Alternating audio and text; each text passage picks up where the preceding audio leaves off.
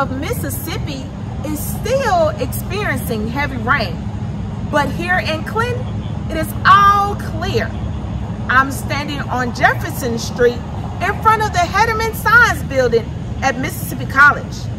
Drip, drop, drip.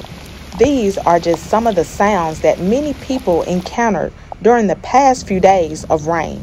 Here in Clinton, the rain didn't cause as severe flooding as Jackson and Canton. WHUC News 7 reporter Devin Anderson is on the Hinds Utica campus where the rain is causing other issues as well. Yes, Tewana, the rain here has given us a slight break, but will return later on this afternoon. The stream down at the dormitories has been filled with rushing water and buildings such as the Plasma Kennedy and the Walter Washington building has trash bins collecting leaking water and caution signs. Do not let this gloomy weather ruin your productivity. It's still a great time to go in your room and probably catch up on some work or get some studying in.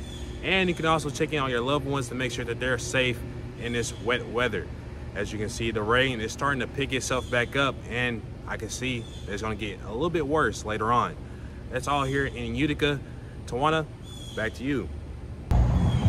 Live in Clinton, Tewana Johnson reporting for WHUC News 7.